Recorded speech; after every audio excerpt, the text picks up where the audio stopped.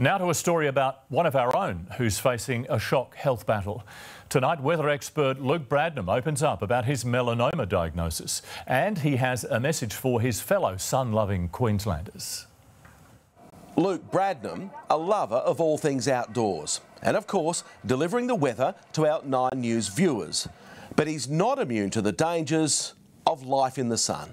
Just what have you gone through in the last week? So, uh, well, go back six weeks ago, I had a mole on my collarbone here, and my wife was at me, you've got to go get that checked out. It looked suspicious to me. I eventually, after her nagging, I mean pleading, uh, went and got it checked out. And what was found was a grade one melanoma, survivable but scary. What's the biggest mistake we make, though? Like, seriously, So- as, a- as a society? Okay, so the biggest mistake is not listening to your wife.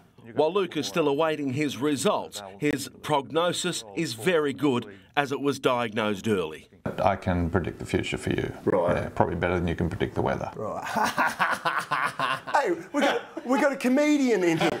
But it's no laughing matter, and Luke's determined to spread the word. You're not bulletproof, and you're not going to go forever, and you're not above cancer.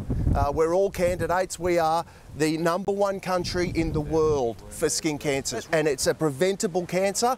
It just requires you to make a booking and go and get your skin checked. And honestly, uh, please do it. Please do it. Go and get a checkup. Paul Taylor, Nine News.